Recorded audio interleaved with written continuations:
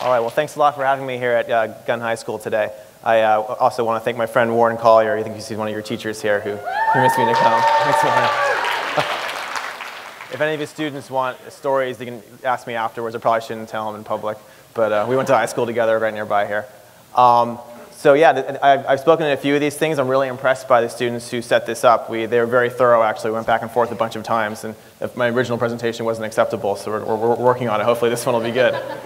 But uh, you know, usually when you do these things, you don't give too much of your background because if you've been pretty successful, uh, adults don't like to hear about it. But I thought it'd be good just to start a little bit with the background for context for the kids because it's not really competitive with you guys, so you can just, just hear a little bit about that and then explain what's going on. So I, I went to school, very similar high school to you guys in, in Fremont, and went to Stanford. And I got pretty lucky to get involved in a group of people around something called PayPal. And PayPal uh, was pretty successful. It was a big payment system. We sold it to eBay. And a lot of my friends from PayPal, they went on to build a lot of the big companies in Silicon Valley right now. So they, a lot of the people I was with there, they left and they started things like Yelp and LinkedIn and YouTube and Tesla and lots of other companies you guys know. And I ended up starting a company called uh, Palantir. And I guess Palantir, uh, now that Twitter just IPO'd, Palantir is the biggest uh, private company in Silicon Valley that's, that's, still private. And we worked on a lot of things in global defense and intelligence. So the, the, the, the background, background with Palantir is that when we were at PayPal, uh, the bad guys were stealing all of our money. The Chinese and the Russians were kind of, yeah, it's kind of silly, but this is what happens in the real world. The Chinese and Russians were going after us, and they put all of our competitors out of business. And this was in 2000, 2001 and we worked with the government and we figured out how to build our systems to stop the bad guys.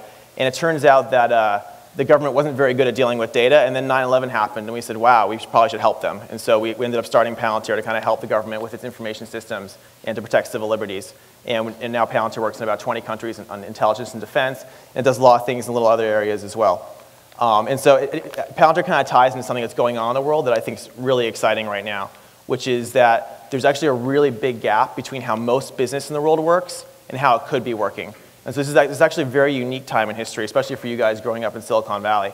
To, to, to step back a little bit in Silicon Valley, just the really brief history, how we see it, there's been about five waves of companies here in Silicon Valley over the last hundred years. So you guys know, of course, like the radio and the TV were invented here, and you had all the electronic tools companies, and Hewlett-Packard was the first kind of really big electronic tools company, and that was the big wave for a while, and that attracted a lot of people here for electronics. And then you had, after that, the transistor was invented, and so you had the whole wave of semiconductor companies. So I think a lot of our parents, my, my dad was one of them, worked in the semiconductor industry. That was kind of the big industry here for a long time. And then thanks to semiconductors, all of a sudden you had all these businesses that were able to use computers, but they needed software to use their computers. And so the third wave in Silicon Valley was what we call enterprise software. And you had all these companies building things for businesses. And that, that was kind of the trend for a while, and that's where most of the value was created.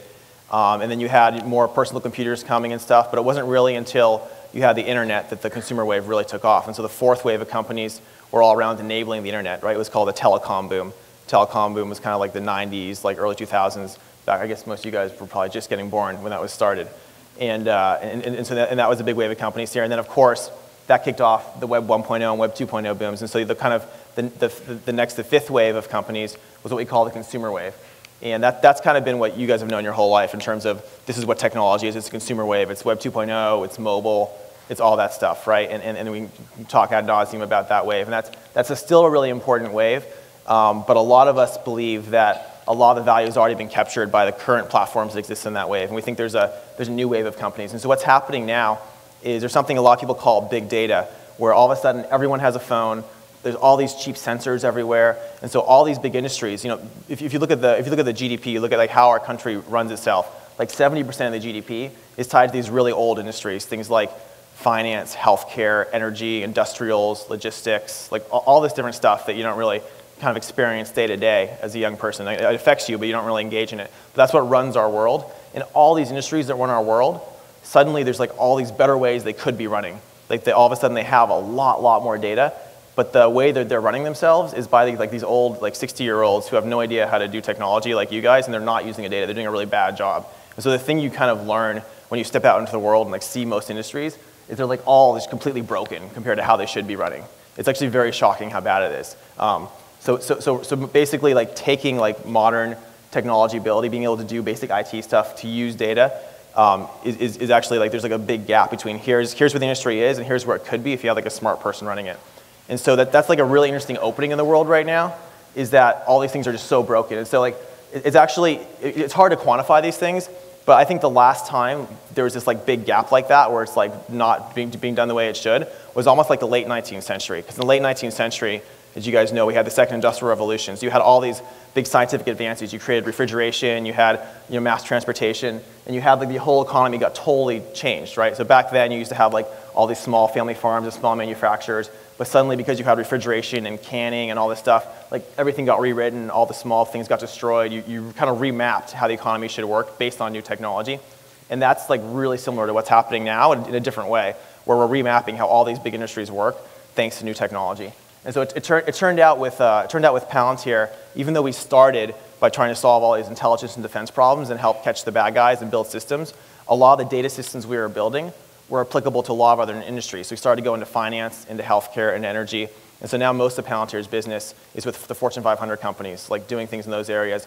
But it's not just Palantir that's doing this. There's a whole new wave of companies starting in Silicon Valley that are, that are really interesting right now because they're all going in and fixing these industries. And the kind of, the kind of role that leaves for individuals is the world really needs leaders right now because it's one thing to say that there's a gap and here's how it obviously should work, but it's really, really hard to be the kind of like group or person that steps in and somehow like is a leader that like actually brings that reality to fruition. Like, like things don't just happen naturally. Like the future maybe should exist this way, but you don't just get the future automatically. You have to build the future. And so there's, because this is the time in history where there's this big gap, it's also time in history where being a leader and being someone who can like take, take a vision in industry and push it forward is really valuable. So I think the next 20 years or so, you're going to have like huge amounts of value created in Silicon Valley based on this. And, and people already kind of know this around the world. Like one thing that's very different, I do a lot of business between here and Asia because Asia is also the fastest growing economy in the world right now. And if you like talk to the top people in Asia, the top families, they always used to want their kids to go to Harvard now they all want their kids to go to Stanford because they know this is like this, this is the area where, where it's happening, right? And so, and this is true of all these big industries. Like we have like the CEOs, CIOs of all these giant oil companies and healthcare companies, and finance companies calling us all the time, trying to meet here. After I did Palantir, I, raised a $450 million fund. So I'm investing in a lot of these companies right now. And uh, there's, there's only a few of us. There's, there's three new funds in the Valley that are pretty big. You guys probably know. It's Chamath, it's called Social Plus Capital. It's Marc Andreessen, which is Andreessen Horowitz. And then mine is Formation 8. Those are the three kind of bigger ones that have been started in the last six or seven years. And then, of course, there's a bunch of great ones that have been around forever. And, and all of us who are doing these funds and who are building these things, we're getting contacted by like all the people who run big industries. So it's, so it's very interesting. And, and then there's a question like, how do, you, how do you become a leader in this new economy? Like, what do you, what do you have to do? What do you have to build to, to get there? What kind of skills do you need? I think it's quite a few things. I think when I was in high school, I thought it was all about just being really good at computer science or electrical engineering and like figuring out some really new hard technical thing, and that was what's going to make me rich and it's what's going to make us really successful. And I think that's a really good thing to work on in high school. You do have to learn the basics, but actually there's a lot more things that are really important. When I was in high school, I'd be way too scared to be up here talking to you. And fortunately, I learned a little bit about communication over the years. But I think, I think communication is really important. You have to be able to talk to people. You have to learn how to inspire people. I think you have to learn how to be very interested in business, in, in, in a certain in, in industries and how they work. So basically, not, not just business as, as a whole, but like you have to like say, I really want to learn about how this energy industry works, or I really want to learn about how this part of healthcare works. And if you're not passionate about it, you're not going to be successful in building something. And it's fine, like vast majority of people aren't leaders. They're just going to follow, they're going to go into an industry. But if you want to be a leader, you want to be the person who changes it, you have to learn these industries as well as learning the computer science skills. And then when you, and when you learn them, you have to be able to then inspire others about, about you know, what the vision should be. One thing I thought was really interesting this week, actually, there's a guy visiting town named Magnus Carlsen. He's this 23-year-old who just won the World Chess Championship. And uh, he, we brought him by a couple of my companies. It was really fun. He played Simul's. He, he beat me pretty badly.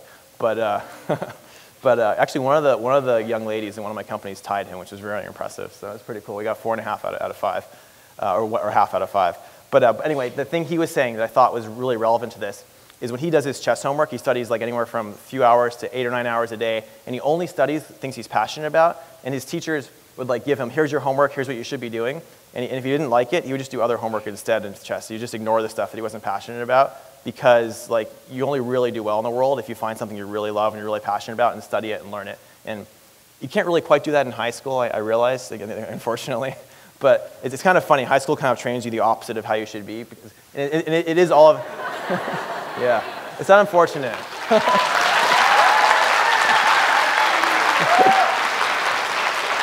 I think, I think your job in high school is to make sure you get good grades and get into a good college. So don't, don't like just ignore the boring stuff because like unfortunately some, some of it's exciting, some of it's boring and that's, that's life. But I think when you do get out into the real world, it's really important to mostly spend your time on the things you really care about. And that's like almost a habit you're gonna have to break after, after having gone through the system that we put everyone through.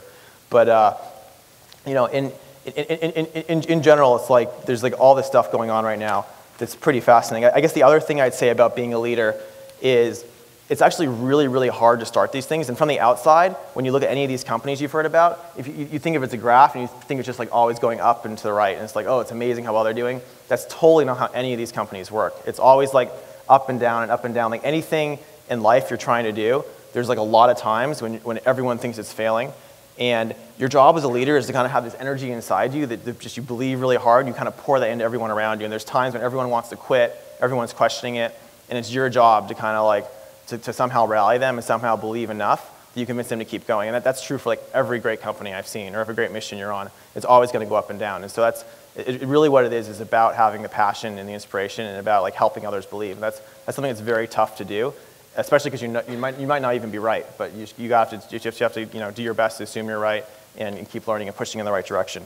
Um, I, guess, I guess the other thing I'd say about high school that's probably pretty important is it's a really good time to learn how to be like a good friend and learn how to be loyal to people and learn how to have, you know, have that kind of discipline to, to, to be a good person. I think almost everyone I've seen who's successful, they learned a lot about relationships when they're younger, and, and I, think, I think that's something I, you know, I thought I was just learning things in class, but actually, actually like, like learning about being with each other, being social, going out there and talking to people, it's a lot more important than just getting A's in all of your math classes, I'd say. So that's, that's something I decided I'd forgotten at the time.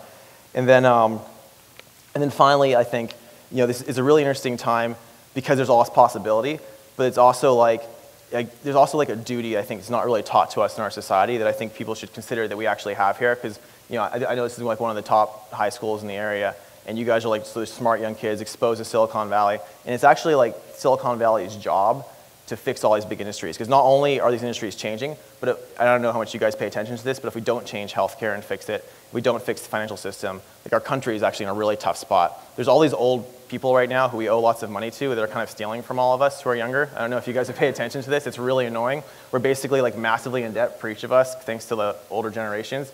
And, and, and it's going to get even worse because like everything's getting more expensive and more broken.